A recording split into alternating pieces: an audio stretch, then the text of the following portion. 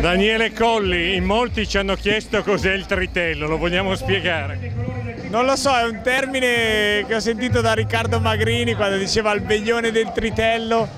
Penso che sia, non lo so, un veglione, quindi non ho idea. Comunque è un'esplosione secondo me, ecco. ieri c'è stato, la Liguria eh, si sapeva che, che fosse così e quindi ieri si è dimostrata tale sono dei corridori che hanno perso il giro, qualcuno che, che ha perso energie come i corridori della Saxo, quindi insomma anche oggi forse anche più dura, quindi ci sarà un'altra gara da, da, affrontare e non si può perdere tempo, quindi saranno tutti concentrati sia i big che quelli che proveranno a fare la tappa.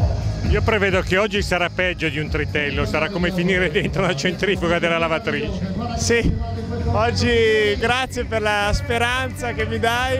E, no, io proverò a difendermi, non so, eh, i percorsi sono duri ma in realtà poi sono i corridori che, che lo, lo rendono tale, quindi cercherò di stare con qualche gruppo sperando che sia il primo.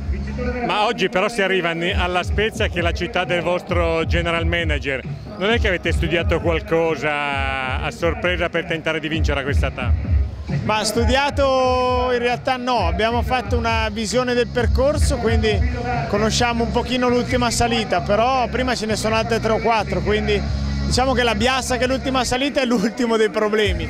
E vedremo, Damiano abbiamo Cunico che sta pedalando bene, sarà lui oggi l'uomo faro e speriamo di accompagnarlo fino all'ultima salita, cercare di prenderla davanti per, eh, per provare a giocarsi successo.